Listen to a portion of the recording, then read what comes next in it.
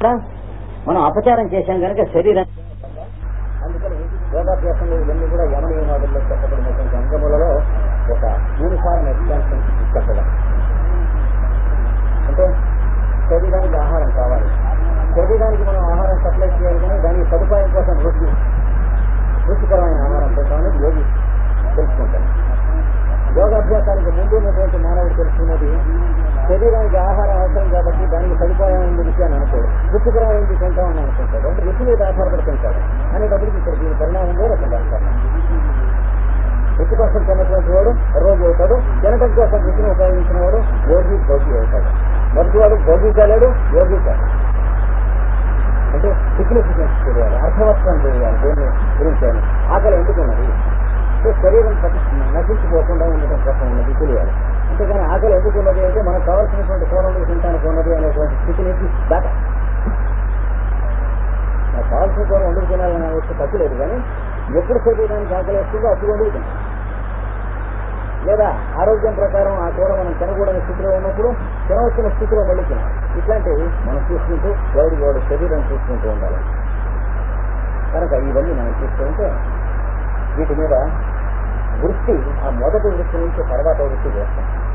అంటే చిత్త వృత్తి అనేటువంటి స్థితి నుంచి చిత్తమునకు సమర్పించబడిన నీకే ఇవ్వబడిన వృత్తిలో వస్తాం ఆ వృత్తి బహిరకల్పితం కనుక ఉన్నట్లయితే అని చెప్పారు. బహిరకల్పితం అంటే నాట్ అప్లైడ్ ఆబ్జెక్ట్ ఎలాగా? ఈ పుస్తకం మీద కొంత శ్రద్ధ పెట్టాం. కొంచెం ఎక్కువ చేస్తాం పరీక్షల మీద కొంచెం ఎక్కువ శ్రద్ధ పెట్టాం. ఫస్ట్ మార్క్ ప్రతి రోజు వస్తుంది పెద్ద పాయింట్ ఏం లేదు. అంటే దాని మీద శ్రద్ధ పెట్టడంలో ఉంటుంది. కనీసం ninety five percent of the పీపుల్కి వస్తుంది. ఎందుకంటే అది పెద్ద విద్య లేదు కనుక రొటీన్ మ్యాటర్ కనుక. అలాగే దేని ఏంటైతే కొంచెం శ్రద్ధ పెట్టామో దాని తాలూకు లాభములు అంటే అడ్వాంటేజ్ ఉంటుంది. అంటే మనస్సు దాని మీద కొంచెం ఎక్కువ క్యాండిల్స్ వాడితే స్ట్రెయిన్ అవుతుంది. వ్యాపారం మీద కొంచెం ఎక్కువ శ్రద్ధ పెట్టాము. తప్పకుండా ఎందుకంటే అలా తలంచుకుని చేసుకోవాల్సిన పనులు ఎక్కువ పెద్ద తెలివితేటలకు సంబంధించిన పనులు రొటీన్ మ్యాటర్స్ అంటారు. ఇట్లాంటివి. పుస్తకాలు చదవటం అర్థం చేసుకుంటాం వ్యాపారం చేయటం మరో పది లక్షలు సంపాదించడం ఇవన్నీ కూడా దాన్ని గురువులో పెడితే వెళ్ళిపోతూ ఉంటాయి. అలాగే ఇంకా వార్తలు మార్కులు తెచ్చుకుంటాం. అలాగే ఢిల్లీలోను హైదరాబాద్లోను సెటిల్ అవటం ఇట్లాంటివన్నీ కూడా. దేని ఎందు శ్రద్ధ పెడితే? దాని ఎందు నిలబడుతుంది. ఇలా నేర్చుకున్నాక నీ శ్రద్ధ ఎందు శ్రద్ధ పెడితే ఎలా ఉంటుందో చూడండి. అంటే శ్రద్ధ అంటే ఏమిటి? ఎలా పెడుతున్నాం మనం? అప్లై చేస్తున్నాం దాని ఎందు నువ్వు రోజు కాసేపు యోగాభ్యాసం పెట్టు అంటే అంటే మైక్రోస్కోప్ లోంచి చూసి వస్తువుల నిర్మాణం అంతా తెలుసుకున్నారు. ఒక వందో వెయ్యో వస్తువులు. ఇప్పుడు అలా కాకుండా ఆగి మైక్రోస్కోప్ నిర్మాణం తెలుసుకో అంటే మీ దగ్గర ఉన్నటువంటి పనిముట్లు ఇన్స్ట్రుమెంట్స్ అంటే కన్ను ముక్కు చెవి నాలిక మొదలైనటువంటి వాటి ఉపయోగించి ప్రతి వస్తువు యొక్క స్వభావాన్ని కొద్ది గొప్ప వంకాయల స్వభావం బీరకాయల స్వభావం చేపల స్వభావం కోడిగుడ్ల స్వభావం ఉల్లిపాయల స్వభావం భోజనం అన్నం స్వభావం గోధుమల స్వభావం ఇట్లా తెలుసుకున్నాం. చింతపండు స్వభావం డబ్బు స్వభావం లాభం స్వభావం నష్టం స్వభావం ఆస్తి స్వభావం పొలం స్వభావం మెట్ట స్వభావం మాగాణి స్వభావం ఇల్లు స్వభావం తాకట్టు స్వభావం తలకట్టు ఇవన్నీ కాదు. బ్యాంకు స్వభావం బ్యాంకు బ్యాలెన్స్ అంటే స్వభావం ఇవన్నీ. ఇవన్నీ తెలుసుకున్నారు. ఇవన్నీ తెలుసుకుంటూ ఉన్న స్వభావం ఉన్నదే మీది. దాని మీద పెట్టి చూడండి అన్నాడు అంటే ఏంటి? ఇన్స్ట్రుమెంట్ మీద మీరు మైండ్ పెడుతున్నారు. ఎప్పుడైతే ఇన్స్ట్రుమెంట్ మీద మైండ్ పెడుతున్నారో ఇన్స్ట్రుమెంట్ ఎప్పుడన్నా తేడా వచ్చినప్పుడు మీరు దాంతో ఆ తప్పుడు రీడింగ్స్ తీసుకుంటాం అనేటువంటిది పోతుంది. లేకపోతే ఏమవుతుంది? ఇన్స్ట్రుమెంట్ మీద ఆధారపడ్డటువంటి వాడు మెకానిక్ మెకానిజం తెలిసి తెలియనకుండా ఏదన్నా ఒక యంత్రాన్ని వాడుకుంటున్నటువంటి గురుడివాడు పిచ్చివాడు అంటే శరీరాన్ని మనమంతా వాడుకుంటున్నామే. అలా. అంటే దీన్ని ఎప్పుడు వాడుకోవాలో తెలియదు ఎలా వాడుకోవాలో తెలియదు ఏం తినాలో తెలియదు ఎంత తినాలో తెలియదు మొహమాట పడి మరి వాళ్ళింటో పెళ్ళి అయితే భోజనానికి వెళ్ళబోతే ఏమైనా అనుకుంటారాయన మనకు అక్కర లేకుండా అయినా తినాలి. ఇట్లాంటి పశుప్రాయమైనటువంటి పనులు తెల్లారులేస్తే ఎన్ని చేస్తాం మనం? ఇవి వీటన్నిటిలోంచి సర్దుకుని ఈ ఇన్స్ట్రుమెంట్ని సర్దుకుంటున్న కొద్దీ దీని ద్వారా మనం తీసుకునే రీడింగ్స్లో తప్పులు లేకుండా. లేకపోతే ఏమవుతుంది? మీరు నవ్వుతూ ఉంటే నన్ను చూసే నవ్వుతున్నారు అనుకుంటాను. ఇద్దరు మాట్లాడుకుంటూ ఉంటే నన్ను చూసే మాట్లాడుకుంటున్నారు అనుకుంటా. రీడింగ్ తప్పుడు రీడింగ్ ఎందుకంటే ఇన్స్ట్రుమెంట్ ఏడిచినట్టుంది. అందుకని ప్రతివాడు మాట్లాడుకుంటున్నా నవ్వుకుంటున్నా నా మీదేనా రోయ్ అని అనుకుని ఈర్ష్య అసూయ మదమాశ్చర్యములు మొదలైనటువంటి జీరో ఎర్రర్స్ నాన్ సెన్సికల్గా పడుతూ ఉంటాయి. దాంతో నిద్ర పట్టకపోవటం తలనొప్పి వస్తూ ఉంటాం బీపీ ఈ సర్పాసులు మొదలైన నానా గడ్డి మింగుతూ ఉంటాం ఇట్లాంటివన్నీ వస్తూ ఉంటాం అంటే అన్నం మీద కాకుండా మందులు మొదలైనటువంటి దిక్కుమాలను వాటి మీద బతకడం ఇట్లా వస్తుంది. తప్పుతుంది పటాలు తప్పుతాయి. అందుకని ఈ స్థితిలో శరీరం అనేటువంటి యంత్రానికి దాని టెక్నికల్ నోహౌ తెలిసి దాని ప్రకారం బతుకుతూ ఉన్నప్పుడు కొంత దూరం వెళ్ళేటప్పటికి దాని మీద అప్లై చేయి దీని మీద అప్లై చేయి కెమిస్ట్రీ మీద అప్లై చేయి ఇంకా మార్కులు వచ్చినాయి. ఏదో ఇంగ్లీష్ మీద అప్లై చేయి బాగా మంచి ఇంగ్లీష్ మాట్లాడతావు. స్పెల్లింగ్లు తప్పులు లేకుండా. ఏదో సంస్కృతం మీద అప్లై చేయి హీబ్రూ మీద అప్లై ఏది ఈ శ్రద్ధని ఈ చెప్పబడిన సంయమాన్ని అవన్నీ కూడా పరిస్థితిలో మెరుగు అవుతాయి మెరుగైన తర్వాత నీ మీద అప్లై చేస్తూ అమలు చేస్తాం. అది ఇక్కడ చూద్దాం నీ మీద అమలు చేసుకున్నప్పుడు ఏమవుతుంది? బహిరకల్పిత. నువ్వు కాక ఇతర విషయములు బహిహి అంటే ఆబ్జెక్టివ్. దానికి అప్లై చేసుకున్నటువంటి మనం రోజు మనస్సుని దేనికి అప్లై చేస్తున్నాం? వస్తున్న అభిప్రాయాలకు అప్లై చేస్తున్నాం. ఆఫీసులో ఉన్న విషయాన్ని గురించి లేకపోతే మన కుర్రాడికి ఉద్యోగం ఇస్తా అన్నటువంటి వాడు ఏదో ఐదు వేలు ఆరు వేలు తెమ్మన్నాడు ఎవడు చూడకుండా వాడి గురించి కానీ ఇలా ఆలోచిస్తూ ఉంటాం. అంటే మనస్సు దేనికి పనిచేస్తుంది? తాను కాక ఇతర విషయం మీద పనిచేస్తుంది. అన్య వస్తు భాష. ఇది ఒక్కటే తెలిసిన మనస్సు. అందుచేత మనందరికీ మనస్సు అంటే అభిప్రాయములే గాని అంతకు వెనకున్న మనస్సు తెలియటానికి అవకాశం లేదు. అభిప్రాయములు రాకుండా ఉన్నప్పుడు నిద్రపోతాం గనక మనస్సు తెలియటానికి లేదు. అభిప్రాయాలు లేకుండా మనస్సు ఉండటం అనేది మెడుకుగా ఉన్నప్పుడు జరగటం లేదు గనక ఉంటే అభిప్రాయాలు లేకపోతే నిద్ర. కనుక మనం మనస్సు అనిపించేది అభిప్రాయాలు తప్ప మనస్సు కాదు. చూసారా? అంటే మనం కొనేరు కొలను అని పిలిచేటువంటిది అలలు తప్ప కొలం కాదు నీరు కాదు. అలలకి నీరుకి తేడా తెలియనటువంటి మూర్ఖ స్థితి మనది. కోనేట్లో అలలు ఉంటాయనుకోండి. అబ్బా కోనేరు అంటాం. మనం చూసే అబ్బా ఉంటుంది కోనేరు కాదు కోనేటి అలలు. అలాగా మన మనస్సులో అభిప్రాయం వచ్చినప్పుడు మనస్సు ఉందని తెలుస్తుంది. మనస్సు అంటే అభిప్రాయం మన ఉద్దేశం. ఈ అభిప్రాయం ఆగిపోయి ఇంకో అభిప్రాయం వచ్చే లోపల మధ్య ఏముందో తెలియటం లే అప్పుడు మనం ఉన్నాం. తెలియదు. కనుక మనకు మనస్సు అంటే అభిప్రాయం అనేటువంటి చెత్త అభిప్రాయమే గాని అభిప్రాయానికి అభిప్రాయానికి మధ్యన ఉన్నటువంటి మనస్సును గురించి రుచి చూడటానికి నోచుకోలేదు పెట్టుపుట్టలేదు ఇంతవరకు అభ్యాసం చేయలేదు. ఇక్కడ ఏం చెబుతున్నాడంటే చెబుతున్నారు? మెల్లిగా దేని దేని మీదైతే నీ శ్రద్ధ నీ అభ్యాసం పెడుతున్నావో అవి తీసే వస్తాయి ఎలాగో వస్తాయి? శ్రద్ధ ఉంటే అవి ఎలాగో వస్తాయి కనుక శ్రద్ధ అనేటువంటి విలువైన వస్తువుని ఆ చెత్త వస్తువులు కొనటానికి ఉపయోగించు ఏది? ఇంకా ఓ కొంచెం ప్రమోషన్ రావటం ఇంకా వ్యాపారంలో లాభం రావటం. అయితే అవి రావద్దా? తప్పకుండా రావాలి. ఏం చేయాలి? శ్రద్ధ మీద నువ్వు శ్రద్ధ పట్టినప్పుడు అవన్నీ కుక్కల్లాగా ఇవి వంటి వస్తాయి లేదా దాని మీద నువ్వు శ్రద్ధ పెట్టినప్పుడు నువ్వు వాటి దగ్గర కుక్కలాగా అక్కడ వాటి దగ్గరికి వీడి దగ్గరికి వెళ్ళి ప్రమోషన్ కోసం ఉంది నానా జతల కాళ్ళు బూట్లతో సహా వస్తావు చూసా తేడా అది. నీవు శ్రద్ధ అనేటువంటిది ఒకటే ఉంటే శ్రద్ధ దగ్గరికి అన్ని వస్తాయి. దేని మీదైనా శ్రద్ధ పెట్టావంటే అప్పుడు ఏమవుతుంది? మొసగుని రేగి పండ్లకును మౌక్తికములు వెలబోసినట్లు అన్నాడు గోపన్ రామదాస్ గారు. ఎవడో పిచ్చాడు? రేగి పండ్లు అమ్మొస్తే కొలతకి సరికి సరి ఇస్తానంది ఆ అమ్మాయి. బియ్యానికే ఆవిడ చెప్పింది వీడి ఇంట్లో ముత్యాలు ఉన్నాయి ముత్యాలు కానీ అనుకుని ముత్యాలు తీసుకెళ్ళి కొలిచి వెయ్యి పళ్ళు కొనుక్కున్నాడు. అలాగా ఇవి పెట్టి అవి కొనుక్కుంటూ ఉంటారు మూర్ఖులను అంటే వాళ్ళలో ఉన్నటువంటి సైకలాజికల్ సెటప్లో ఏది నిజంగా వాల్యుబుల్ తెలియక అది పెట్టి అక్కర్లేని చెత్త కొనుక్కుంటూ ఉంటాం. చూసారా? అది తెలియాలి. అవి విలువ అనుకుంటాం మనం. ఏది? మరి పది లక్షల లాభం రావటం కానీ ప్రమోషన్ రావటం కానీ అవి విలువైంది అని దాని మీద శ్రద్ధ పెట్టేటప్పుడు ఏమవుతుంది? శ్రద్ధ అనేటువంటి పాలల్లో నీళ్ళు కలిసి ఇది పనికి రాకుండా పోవటం తప్ప. మెల్లిగా మనకి తెలియకుండా సన్నటి సిరేంజితో ఆ పాలు లాగేస్తూ ఉంటుంది శ్రద్ధ అనేటువంటిది. ఆ కవర్లోంచి లాగి మళ్ళీ నీళ్ళు దింపుతూ ఉంటుంది. తెల్లవారుసాన కొందరు ఇది ఒక యోగాభ్యాసం. అది సక్సెస్ఫుల్గా చేయగలగటం కూడా శ్రద్ధే కదా?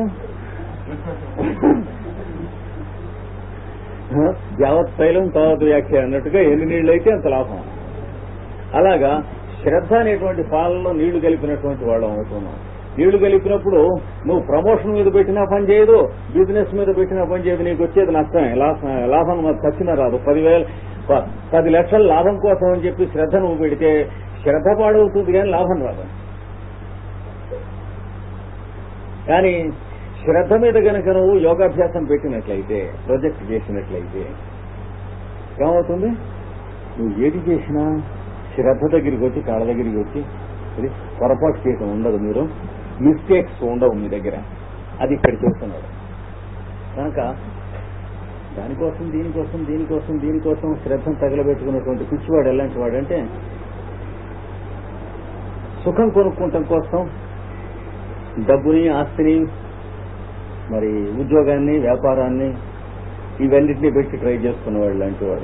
వాడుకుంటుంది సుఖం కంటే సుఖాన్ని కొనుక్కోవటానికి వీలైనంతగా విలువైన వస్తువు ఇంకోటి ఉంది అని నమ్మేటువంటి గాడిదకి సుఖం ఎందుకు వస్తుంది? మిగిలిన వస్తాయి కానీ. అంటే ఏంటి వాడి దృష్టిలో సుఖం అనే మాటకి గాడిద అభిప్రాయం కానీ సరైన అభిప్రాయం లేదు. ఇంకో అది డబ్బు పెట్టి కొనొచ్చు సుఖాన్ని అంటే వాడి దృష్టిలో సుఖం అనే మాటకి అర్థం ఏడుకొని వస్తాం. అంతకంటే ఇంకేం లేదు. అలాగే హోదాకు పెట్టి సుఖం కొనొచ్చు. హోదా పెట్టి సుఖం కొనొచ్చు అనుకునేటువంటి వాడి సుఖం అనే మాటకి అర్థం ఏడుకొనే అర్థం ఈర్ష్య అసూయ మరమాత్సర్యాలు వాళ్ళంతా సుఖంగా ఉంటున్నారు. మనం ఉంటాం లేదు అని అనుకుంటూ ఉంటాడు. సుఖం ఎందుకుంటుంది అందుకని ఇంకా ఏది పెట్టి సుఖం కొనుక్కుందాం అని అనుకున్నవాడు దుఃఖాన్ని కొనుక్కుంటాడు. సుఖం పెట్టి మిగిలిన కొనుక్కునేటువంటి వాడు ఉంటాడు. అంటే వాడు సుఖపడుతూ ఉంటాడు మిగిలిన వచ్చే వస్తూ ఉంటాయి అన్ని. అక్కడి వాడు సుఖం ప్రపంచంలో తెలిసినటువంటి వాడు. అంటే సుఖపడటానికి క్షుద్రములైన కారణాలు వెతుక్కున్నటువంటి బుద్ధిమంతుడు ఎవడైతే ఉంటాడో వాడు ఒక్కడే సుఖపడుతూ ఉంటాడు. అన్ని కూడా వాడి సుఖానికే కంట్రిబ్యూట్ చేస్తాయి. ఏది వచ్చినా వాడి వాడి చుట్టూ ఉన్నటువంటి వాళ్ళకి సుఖం కోసం వస్తూ ఉంటాయి. ఎందుకని? సుఖం కోసం ఇంకోటి ఇంతకంటే విలువైంది ఉంది అనేటువంటి ఇన్సల్ట్ సుఖాన్ని వాడు చేయలేదు కనుక సుఖం కోసం ఇలా ఉంటే సుఖం కోసం అది చేస్తే సుఖం కోసం ఓవర్ టైం వర్క్ చేస్తే అనుకోలేవాడు. సుఖంగా ఉంటున్నాడు కావాలంటే ఓవర్ వర్క్ చేశాడు. సుఖం కోసం చేయటంలే. అంటే వాడు ఏం చేస్తున్నాడు? అపచారం చేయటం లేదు. అలాగే శ్రద్ధ కూడా. సుఖం ఒకటి శ్రద్ధ ఒకటి. దాన్ని ఇంకొక దాన్ని వినియోగం చేస్తే మైలబడిపోతాయి అంటూ పడిపోతాయి. అంచేత దాని ఎందే మీరు సమాధి స్థితి పొందాలి. అది చూస్తున్నాడు ఇక్కడ. పొందితే అప్పుడు ఈ మార్పు ఎప్పుడు వస్తుందంటే మీకు బహిరకల్పితమైనటువంటి మార్పు వస్తుంది. అంటే వెలు వెలుపలిగా మీరు చెప్పడానికి వీలైనటువంటి వస్తువులు గాని విషయములు గాని సంకల్పములు గాని దేని ఎందు యోగాభ్యాసం సంయమం చేయక. ఊరికే సంయమం చేయటం మొదలెట్టండి ఏమవుతుంది ఇక్కడ అది చెప్పింది. చేస్తే ఏమవుతుంది? అసలు రావాల్సినటువంటిది వస్తుంది. ఈ సుఖంగా బతికినటువంటి వాళ్ళు ఎవరైతే ఉన్నారో పతంజలి వ్యాసుడు వాల్మీకి మొదలైన గడుసైన వాళ్ళు వాళ్ళకు దొరికినటువంటి కిటుకు మీకు కూడా దొరుకుతుంది. అది లేకపోతే యోగాభ్యాసం చేసినా కూడా వాటి వెంట వీటి వెంట వెళుతూనే ఉంటారు. సిద్ధులు కావాలని చెప్పి శక్తులు కావాలని కలిసి వచ్చేటువంటిది కావాలని లేదా వశీకరణం కావాలని మన చుట్టూ పది మంది తిరగాలని పది మంది మనం తెలియాలని కీర్తి రావాలని ఇట్లాంటివి పొంది వాళ్ళు అనుకున్న వస్తాయి కానీ నానా నానామట్టి నానా మట్టి తింటూ ఉంటారు. కీర్తి వచ్చింది అనుకోండి వాడికి అన్నం తింటానికి వీలుందా? మంచినీళ్ళు తాగటానికి వీలుందా? భార్యతో మాట్లాడటానికి వీలుందా? పిల్లలతో మాట్లాడటానికి వీలుందా? వాడు అనుకున్నది వస్తుంది. ఎలాగంటే ఈ మంత్రం చేయి. నీకు ఒక బ్రహ్మరాక్షసుడు ప్రత్యక్షం అవుతాడు. నువ్వు ఏది కావాలంటే ఆ పని చేసి పెడతాడు అన్నట్టు ఏడుపు అలాగా. కానీ జాగ్రత్తగా ఉంటూ నువ్వేమన్నా పని చెప్పకపోతే నేను తినేస్తాడు అన్నట్టు. సరే పని చెప్పకపోవడానికి ఏం బోల్డని పనులు ఉన్నాయని చెప్పేవాడు ఆ మంత్రం జపం చేసేటవాడు శిష్యుడు చేసేటికి ఇప్పుడు రాక్షసుడు ప్రత్యక్షమై అన్నట్టు ఎదురకుండా. కళ్ళు తెరిచి చూస్తే ఏమిటంటే నేను రాక్షసుని ఏం? నాకేదైనా పని చెప్పు చెప్పకపోతే ఆ అన్నట్టు నోరు తెరిచేట అనేటప్పటికీ అప్పుడు చెప్పాడు మా ఇంట్లో తోటలు దొడ్లు అవన్నీ కావాలి. అంటే అదిగో చూడు ఉన్నాయి అన్నట్టు. వీడు వెళ్ళి వేయలే వాడు చూపించేట్టుగా ఉన్నాయి. అంటే వాడు వీడిని డిసీవ్ చేస్తున్నాడు. కనికట్టు తప్ప ఏమీ లేవు అక్కడ. ఇట్లాగా నా భార్యకు ఒంటి నిండా నగలు కావాలన్నట్టు అదిగో ఉన్నాయి చూసుకో అన్నట్టు. ఉన్నాయి అక్కడ. ఇంకేం పని చెబుతావు అన్నట్ట. ఇంకేం పని చెబుతాడు నా ఇంటికి కప్పులన్నీ బంగారం వేయించు. అదిగో ఉన్నాయి చూడు అన్నాడు. ఇంకేం చెబుతావు లేదా చంపేస్తాను. వాడికి మతిపోయింది. మర్చిపోయి ఈ పర్వతం ఒకటి పెట్టు అన్నట్ట. అదిగో ఉంది చూడు. ఇంకేం చెబుతావు అన్నట్ట. వీడు అక్కడికి వెళ్ళటం లేదు. అలాంటివి అన్నమాట ఇవన్నీ. ఏది? కీర్తి గాని మరి ఆస్తి గాని మొదలైనటువంటివన్నీ కూడా.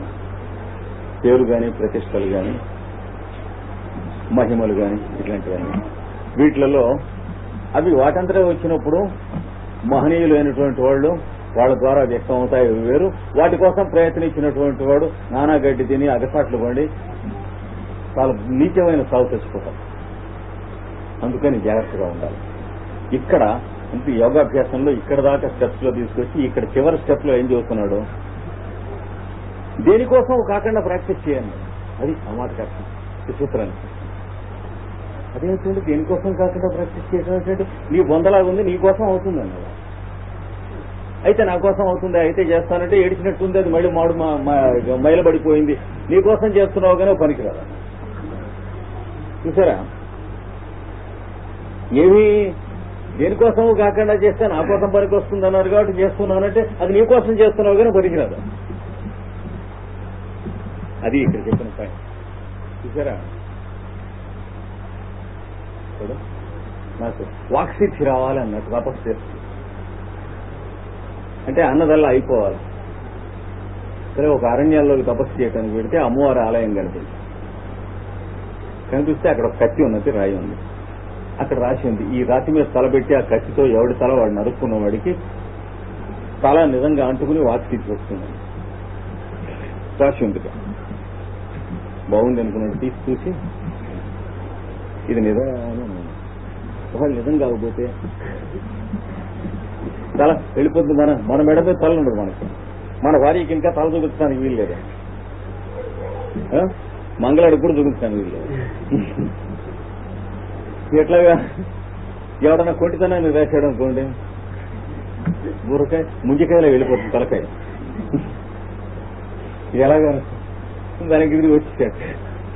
ఏ కొంత సాధన చేసేవాడికి నమ్మకం వచ్చింది. వెళ్ళి చేద్దామని తీసి చూసేటికి ఇంకో పక్కన రాసి ఉంది ఏమని? ఎవడైతే తన తలకాయ ఇస్తూ ఉండగా ప్రాణభీతి లేకుండా అమ్మవారి కోసం సమర్పణ బుద్ధితో ఇస్తాడో వాడి తలే మళ్ళీ అంటుకుంటుంది కానీ ఇంకోటి తల అంటుకోడు.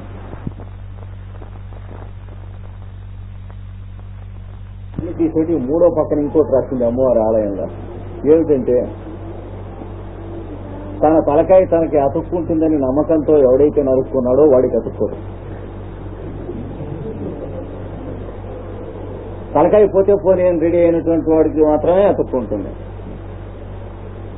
మనకి అది ఉందా లేదా? మళ్ళీ అనుమానం వచ్చింది. మళ్ళీ ఇంటికి వచ్చారు. మళ్ళీ ఆరు నెలలాగా వెళ్ళి మనకి నమ్మకం ఉంది పూర్తిగా అని నరుక్కుందాం అని పెడితే ఇంకో పక్కన ఇంకో వారికి అనిపించింది అలా నరుక్కున్న వాళ్ళకి కూడా తలకాయ ఒక్కొక్కప్పుడు అతుక్కోకపోవచ్చు. ఇంటికి వచ్చేసాడు ఇంటికి వచ్చి శుభ్రంగా భోజేస్తూ కూర్చున్నాడు. అలా ఉంటుంది ఈ వ్యవహారం అంతా కూడా తలకాయ పోతే పోయిందని అనుకున్నటువంటి వాడు అలా అనుకుంటే తప్పకుండా అతుక్కుంటుంది కాబట్టి తలకాయ పోతే పోవచ్చు అనుకున్నాడు. కానీ దొంగలతో అలా అనుకున్నా కూడా అతుక్కోకపోవచ్చు అనేది తిరిగి ఇంటికి వచ్చాడు. ఇప్పుడు చిత్తశుద్ధి అంటే చిత్తకార్త శుద్ధి. చిత్తం యొక్క శుద్ధి కాదు చిత్తకార్త కుక్క ఉంటుండే. ఆ శుద్ధి ఎంతకంటే ఏం లేదు. అందుకని ఇక్కడ ఏం చెబుతున్నాడంటే బహిరకల్పితం. అంటే నాన్ ఆబ్జెక్టివైజ్డ్ సంయమం. చేయండి. సంయమం దేనికోసం చేస్తున్నారనేది మేము అక్కర్లే సంయమం చేస్తూ ఉన్నాం. రామకోటి ఎందుకు రాస్తున్నారు? రాసేవాళ్ళు. దేనికోసమైనా ప్రయత్నం లాభం కోసం రాస్తున్న వాళ్ళు మానేయచ్చు లాభం ఉండదు దానివల్ల. అందుకనే ఈ యోగాభ్యాసం చేస్తే మాకు ఏమొస్తుందని అడిగారు ఓ మాట. ఏది మాస్టర్ కుటుంబిని నేను చేసినందువల్ల ఏమొస్తుంది అని అడిగాడు. శిష్యుడిగా చేరుతూ ఒక ఆయన ఏపీ సిన్నెట్ అనే ఆయన చెప్పాడు గురువు ఏమీ రాదు. ఉన్న ఏమన్నా ఉంటే కొన్ని పోవటం కోసం కానీ ఏమి రావటం కోసం కాదు. రావటం కోసం అయితే బిజినెస్ పెట్టుకోమన్నారు. వ్యాపారం పెట్టుకుని బియ్యంలో బెడ్డల్లో కలుపు బియ్యంలో బెడ్డలు కలుపుకుని అమ్ముకోవాలి కానీ ఏదైనా రావటం కోసం. ఇది పోవటం కోసం నాయన అని చెప్పి అందుకని చూసుకోలేదు గణం పెట్టి ఇంకేం లేదు రావచ్చలేను అన్నారు వాడు చదువుకున్న తర్వాత వచ్చాడు అనుకోండి ఇట్లాంటివి తాపులు చాలా తిన్నాడు వాడు. ఏపీ సెనేట్ అనేటువంటి వాడు. అందుకని యోగాభ్యాసం దేనికంటే ఏమీ రావటానికి కాదు. ఉన్న వాటిలలో మనకు ఉండకూడదు పోవటానికి. కపాలిం చెంపోమే హృదయ కపిమత్యంత చపలం శంకరాచార్య వారు చెప్పారు యోగాభ్యాసం ఎందుకు అనేటువంటి దానికి. సదా మోహాటవ్యాం చరతి. మోహం అనేటువంటి అరణ్యంలో తిరుగుతూ ఉంటుంది. ఊరికి కొమ్మ మించి కొమ్మ మీదకి కొమ్మ మించి కొమ్మ మీదకి. ఈ మనస్సు అనేటువంటి కోతి ఎగురుతూ ఉంటుంది. చూడండి సాహిత్యం నుంచి కామర్స్ మీదకి దాని నుంచి సైన్సెస్ మీదకి దాని నుంచి హ్యుమానిటీస్ మీదకి దాని మించి ఆర్ట్స్ మీదకి దాని నుంచి లాజిక్ మీదకి దాని మించి ఫిలాసఫీ మీదకి. లేదా అక్కడ ఎవరో పది మంది దెబ్బలాడుకుంటున్నారంటే అదేమిటో దాని మీదకి. ఇలా దీని నుంచి దాని మీదకి దాని నుంచి దీని మీదకి అలా పెడుతూ ఉంటుంది ఈ మనస్సు అనే పోటీ అందుకని ఓ కపాలి పుర్రెపుచ్చుకుని రోజు భక్తులని భిక్షాటనం చేస్తూ అడుక్కుంటూ నువ్వు ఎలా పెట్టడం నీకు తప్పదు కనుక చూడండి అన్నాడు. నీకు తెల్లర్లేస్తే ముష్టి తప్పదు కదా? ఉట్టి పుర్రపుచ్చుకుని అడుక్కుంటూ వెళ్ళే బదులు ఈ నా కోతిని కూడా బతికే కదా నీకు వస్తువులు ఎక్కువ అవుతాయి నాకు చికాకు లేకనే ఉంటుంది పుట్టు ముష్టివాడికి వేసింది కన్నా కోతిని తెచ్చిన ముష్టివాడికి కోతికి కసినది వీడికి కసిన వేస్తారు. అంటే అర్థం ఏంటి నా మనస్సును నువ్వు బతికేయలేను కపాలిం శంభోమే హృదయ కపిం అత్యంత చపలం. ఈ హృదయం అనేటువంటి కపి ఉన్నదే అత్యంతమైన చపలం. దీని మించి దాని మీకు దాని మించి దీని మీదకి పెడుతుందంటే ఉందంటే ఏం చేయాలో చెప్పాడు అక్కడ. సమర్పణం చేయాలి. ఇది ఏదన్నా కావాలని నువ్వు అనుకున్నావంటే నువ్వు నీ మెడకి తాడేసి కుక్కల్ని లాక్కెళ్ళిపోతుంది నువ్వు పెట్టుకున్న ఆదర్శం. కనుక నీ ఆదర్శం నీకు యజమాని అయి నువ్వు దానికి కుక్కవై వెనక నడవాల్సి ఉంటుంది చూసుకో. ఆదర్శాల కోసం కదండి ఈ నిద్రాహారాలు లేకుండా చేస్తున్నాం. అలా అన్నటువంటి పిచ్చిముడ కొడుకులంతా అట్లాంటి వాళ్ళు ఆదర్శాల కోసం నిద్రాహారాలు లేకుండా తాగకూడదు ఆదర్శాలు సాధించుకోవాలి. ఆదర్శాల కోసం బలైపోయామని. ఎవరిని ధరించినట్టు బలైపోవటం ఏంటి? ఆదర్శాలను సాధించాలి. దాన్ని దాన్ని నెగ్గించి పది మందికి తెచ్చించిన వాడు మనగాడ? దానికి బలైపోయాం విక్టిమైజ్ అయిపోయాం అంటే అయిపో మన విశ్వాస కింద లెక్క. దేశం కోసం బలైపోయేటంటే పిచ్చిముండ అని అర్థం. దేశానికి ఏదైనా ఉపయోగించి పది కాలాల పాటు పది మందికి పనికొచ్చినటువంటి వాడు కావాలి. కానీ బలి అయిపోయిన వాళ్ళు అక్కర్లేదు ఇక్కడ. నెగిటివ్ వర్చ్యూస్ అక్కర్లేదు పాజిటివ్ వర్చ్యూసే కావాలి యోగాభ్యాసంలో. నువ్వు బతికుండే ఏమైనా చేసేది ఉందా? బలైతే వెళ్ళిపో ఆ లారీలో వేసి ఇడిచేస్తారు. నీ గురించి మళ్ళీ నస్మరంతి ఉన్నవాళ్ళు ఒకరికోడు సహాయం ఎట్లా చేసుకోవాలో ఆలోచించుకోవాలి కానీ వెళ్ళిపోయిన వాడి గురించి మాకెందుకన్నా అది ఇక్కడ చెప్పినటువంటి స్థాపన కనుక బహిరకల్పితమైన పద్ధతి చేస్తే తప ప్రకాశ ఆవరణ క్షయ ప్రకాశం యొక్క ఆవరణం పోతుంది ప్రకాశం మిగిలి అనగా దీపం ఉన్నది. దీపానికి ఏమున్నది? గ్లాస్ ఉండేది. కనుక లాంతర్ గ్లాసులోంచి దీపం చూడటమే మనకు అలవాటు. బల్బు ఉన్నది. బల్బులోంచి వెలుతురు చూడటమే మనకు అలవాటు. ఈ బల్బు ఉన్నది రోలకర్ర దీపం. అందులోంచి మనం వెలుతురు చూడటమే అలవాటు. కనుక వెలుతురు దేంట్లోంచో ఒక దాంట్లోంచి చూడటమే మనకు అలవాటు కానీ ఇవన్నీ తొలగింపబడి వెలుతురు ఉంటుంది ఎప్పుడు అంటే అర్థం ఏంటి నీ తెలివితేటలు వ్యాపారం మీద మాత్రమే చూస్తున్నావు అది వరకు. నీ తెలివితేటలు ఉద్యోగం మీద చూస్తున్నావు. నీ పైవాడు ఎప్పుడు రిటైర్ అవుతాడు? లేక ఎప్పుడు చనిపోతాడు? నువ్వు హైదరాబాద్ కాగితం ఎప్పుడు పెట్టాలి? అవి జాగ్రత్తగా ఉన్నావు. నిద్ర ఆహారం లేకుండా. లేదా ఎవరిని పట్టుకుంటే ఎక్కడ పని అవుతుంది? హైదరాబాద్లో ఏదైనా స్విచ్ నొక్కాలంటే ఇక్కడ స్విచ్ ఎక్కడ ఉంది? ఢిల్లీలో నన్ను పట్టుకోవాలంటే ఇక్కడ మెయిన్ స్విచ్ ఎక్కడ ఉంది? ఇవి జాగ్రత్తగా కొంతమంది అప్పచెబుతూ ఉంటారు ఘనపట్టిల్లే అది వీటన్నిటి ఎందుకు ఉపయోగించాం చూసావు? తెలివితేటలు. దీని ఎందు ఉపయోగించావు దాని ఎందు ఉపయోగించావు దాని ఎందుకు ఉపయోగించావు దాని ఎందుకు ఉపయోగించావు. ఇవి బల్బుల్లోంచి వచ్చేటువంటి వెలుగులాగా నీ తెలివితేటలు నువ్వు పెట్టినటువంటి దాంట్లోంచి యువతలకు వస్తున్నాయి కానీ నీ తెలివితేటలు నీ తెలివితేటలుగా లేవు. నీ తెలివితేటలు అప్లైడ్ తప్ప ఇవి నీ తెలివితేటలు తెలివితేటలుగా రాలేదు. ఇప్పుడు మనం ఇందులో చూస్తున్నటువంటి వెలుతురు దాని ఆకారమైనటువంటి వెలుతురు కానీ కానీ వెలుతురు కాదు. బల్బు ఆకారమైన వెలుతురు తప్ప వెలుతురు కాదు. ఇలాగ మనం చూస్తున్నటువంటి వెలుతురు అంతా కూడాను వాటి మీడియంస్ నుంచి కండిషన్ చేయబడినటువంటి వెలుతురు. అలాగే మన శరీరము మనోబుద్ధి అహంకారాలు మన సైకాలజీ ఇండివిజువల్ నేచర్ అంటాం. అంటే వాడి స్వభావం వాడి తరహా అంటాం చూడండి. దాంట్లోంచి ఎగుడుదిగుడుగా వంకర టింకర్లుగా తిరిగి యువతలకు వస్తున్నదే మనం ఎరుగుదాము కానీ మన లోపల ఉన్నటువంటి అసలైనటువంటి వెలుతురును మనం ఎరగం. ప్రతి ఒక్కరికి ఒక్కొక్క స్వభావము ఒక్కొక్క తరహా అని ఉంటుంది. అదొక్కటే మనకి తెలుసును. మన స్వభావం మనకి తెలిస్తే మహా అయితే అదొక్కటే తెలుసును. స్వభావానికి వెనక ఉన్నటువంటి మన గురించి మనం ఎరగం. అది వెలుగు అంటే.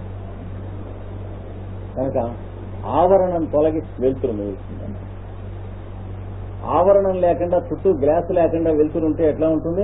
ఉదాహరణకి సూర్యుడు. ఏమండి? వాడి డబ్బా పెడతారా? అయితే సూర్యుడికి కూడా అజ్ఞానం ఉన్నది ఆవరణం. అంటే మన కన్ను అనేటువంటి ఆ కంట్లోంచి చూడటం మాత్రమే మనకు సాధ్యం తప్ప సూర్యుడు ఎట్లా ఉన్నాడో మనకు తెలియదు. అందుకనే కన్ను గుండ్రగా ఉంది కనుక సూర్యుడు కూడా ఇట్లా చెంపులాగా ఉన్నట్టు కనిపిస్తాడు అబద్ధంగా. మన కన్ను బట్టి కన్నులో ఉన్న గురుడితనం తప్ప సూర్యుడికి ఆ ఆకారం లేదు. సూర్యుడికి ఉంటే అస్తిత్వమే ఉన్నది. కనుక సూర్యుడు కూడా ఆ వెలుతురికి అతీతమైనటువంటి స్థితిలో ఎలా ఉంటాడో అలా నువ్వు కూడా అలాగే ఉంటావు. అంటే ఆ స్థితిలో నువ్వు ఉండటం మొదలు పెట్టేటప్పటికి ఏమవుతుంది? నీకు ప్రపంచంలో నీ స్నేహితులు భార్య పిల్లలు ఎరుగున్నటువంటి స్వభావం ఉన్నది చూడండి. ఆ స్వభావం కంటే మార్పు బయట వాళ్ళకి ఏమీ కనిపించదు. మీలో మాత్రం ఆ స్వభావం ఉండదు. నీకు ఒక స్వభావం ఉంటూ అసలు ఉండటం మానేస్తుంది. కానీ నీ మిత్రులు ఎవరికి? నీ స్వభావం ఉన్నట్లే కనిపిస్తుంది. ఏం చేత? ఎవడొచ్చినప్పుడు వాడి స్వభావం పనిచేస్తూ ఉంటుంది. నీ స్వభావం ఉండదు. అర్థంలాగా తయారవుతావు. అది వరకు నీ స్వభావంతో మాట్లాడేవాడు ఎవడొచ్చినా కానీ తరహా వాడి తరహా ఇదేని. కానీ ఇప్పుడు నాకు ఫలానవాడంటే మహానుభావుడు అండి అని ఒకడంటాడు నాకు ఫలానవాడంటే లవ్ లౌక్యుడండి నాకు ఫలానా వాడంటే దొంగ ముండా కొడుకండి భారతంలో కృష్ణుడి గురించి ఎలా అనుకున్నారో అలా అనుకుంటారు. ఎందుకని భారతంలో కృష్ణుడికి స్వభావం అంటూ లేదు. కానీ వాడి దగ్గరికి ఎవడొస్తే వాడి స్వభావంతో కృష్ణుడు మాట్లాడటం జరిగేది. కృష్ణుడు మాట్లాడేవాడు కాదు. అవతలవాడు మాట్లాడించుకునేవాడు. వాడికి ఏం కావాలో అంతే. భారతం చదువుకుంటే మనకు తెలుస్తుంది జాగ్రత్తగా. దుర్యోధనుడు ఎరుగున్న కృష్ణుడు వేరు. ఎందుకంటే వీడి మొహమే కదా. ఆ అద్దంలో కనిపించేది. ధృతరాష్ట్రుడు ఎరుగున్నటువంటి కృష్ణుడు వేరు. వాడి గుడి మొహమే వాడికి కనిపించేది. భీష్ముడు ఎరుగున్నటువంటి కృష్ణుడు వేరు ధర్మరాజు ఎరుగున్నటువంటి కృష్ణుడు వేరు అర్జునుడు ఎరుగున్న కృష్ణుడు వేరు భీముడు ఎరుగున్న కృష్ణుడు వేరు ఏదొక్కడు ఎరుగున్న కృష్ణుడు రెండో వాడికి తెలియదు. మహాభారతం మీరు జాగ్రత్తగా చదివితే మనకు తెలిసేది. చూడండి ప్రతివాడు కృష్ణుని ఎరుగుతున్నానే అనుకున్నారు. వెరీ వాళ్ళు. వ్యాసుడు భీష్ముడు హెచ్చరిక చేశారు. అంపచేయ మీద ఉన్నప్పుడు భీష్ముడు అందరం ఎరుగురా అని అనుకున్నాం. ఎవరికి తెలియదు అక్కడ ఉన్నది ఏమిటో? ఎరుగున్నది మన బొమ్మ వాడిలో చూసింది అని అంపశయ్య మీద పడుతుంది అని చెప్పారు భీష్ముడు చెప్పిన సవరాజ్యంలో ఉన్నది అంపశయ్య మీద చెప్పినటువంటి దాంట్లో వ్యాసుడు కూడా అదే అన్నాడు. మనం ఎరుగుదాం అనుకుని వాడు వంక చూస్తూ ఉంటాం దాని వెనక ఉన్నటువంటి విషయం మనకి తెలిసింది ఏమీ లేదు. ఎందుకంటే ఎరుగుంటానికి అక్కడ ఏమన్నా ఉంటే కదా అన్నాడు. ఒక మనస్సు ఒక స్వభావం ఇట్లాంటిది ఏదన్నా ఉంటే కదా ఒక శరీరం ఉన్నది అంతే. దాంట్లో ప్రాణం ఉన్నది మనస్సు బుద్ధి చిత్తం అహంకారం ఇట్లాంటివన్నీ అంటే ఇన్స్ట్రుమెంట్ అంతా ఉంది దాంట్లోంచి సూర్యరశ్మి ప్రసరించినట్లుగా యువతలకి మాట్లాడుతున్నాడు. వాడి స్వభావం లేదు. అది తెలియదండి ఆయన. దానికి సాధన ఇక్కడ ఇస్తున్నాడు. వీడి నేచర్ ఉండకుండా పోతుంది. అయితే ఆ సాధనలో చరిత్ర మొత్తం మీద మనం ఎరుగున్నటువంటి లక్షణాలు ఒక్క కృష్ణావతారం ఒక్కటే కనిపిస్తుంది. అంటే పర్ఫెక్షన్కి వచ్చినటువంటిది. అందాక వచ్చింది ఇందాక వచ్చింది కొంచెం ఉంటే ఉండవచ్చు. కానీ మనం ఎరుగున్నటువంటి చరిత్రలో ఉన్నటువంటి క్యారెక్టర్స్ అన్నింటిలోనూ ఒక అంటే తనకి ఇండివిజువల్ క్యారెక్టర్ అంటూ లేనటువంటి వాడు కృష్ణావతారం. చూసారా? ఇది ఈ సూత్రం సంబంధించినటువంటిది అంటే మీరు అనేటువంటి వెలుగుకి ఆవరణలు తొలగిపోతాయి. వెలుగు కనిపించ అబ్బా ఏం చేసేస్తండి అనరు మిమ్మల్ని చూస్తే ఎవరు? అది ఇది ఈ అభ్యాసం చేస్తే లేదా ఏం తెలివితేటలండి అని అనరు. కొంచెం ఎబ్బెట్టుగా కనిపిస్తేనే ఆహాహా ఏం తెలివితేటలు అని అనుకునేటువంటిది. కానీ నిజమైనటువంటి సరైన పరిపూర్ణమైన తెలివితేటలు ఉన్నటువంటి వాడు స్వాభావికంగా మళ్ళీ మామూలుగా ప్రవర్తిస్తూ ఉంటాడు. బాలోన్మత్త పిశాచవత్ అన్నాడు భాగవతంలో. వాడు ఆ భరతుడు అనేటువంటి రాజు నడిచి వెడుతూ ఉంటే దేవుడు ఎవడో పీపు బచ్చాగడ అనుకున్నాడు. తెలియదు కదా?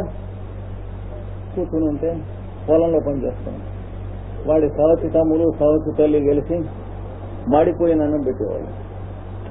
ఏముంది "ఏ- ఏముంది దీంట్లో వాడు మంచి అన్నం తిని వీడు మాడిపోయిన అన్నం పెట్టేవాడు తన స్వభావం కనుక ఉంటే ఎంత ఏడవలసి ఉంటుంది ఎంత పని చేస్తారా వీళ్ళు?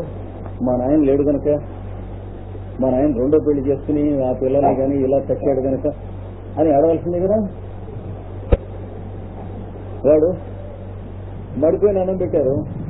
మడిపోయిన నచ్చితే తిన్నాడు లేకపోతే ఆవులు బాధిస్తాడు వీళ్ళు వీడు పొలంలో పని చేయడం చేస్తున్నాడు తిట్టేవాళ్ళు? నీకు బుద్ధి లేదు నీకు తెలియటట్లేదు తిట్టే తిట్టిన వాడికి సంబంధించింది కానీ నీకు సంబంధించింది ఏమిటి? ఎట్లా అవుతుంది? మామూలుగా ఇది తెలియని విషయం ప్రపంచంలో. ఒకరిని ఇంకోటి తిడితే అది ఎవరికి సంబంధించింది? తిట్టిన వాడికి సంబంధించింది కానీ ఎవరిని తిట్టారో వాడికి సంబంధించింది కాదు. ఇది లోకంలో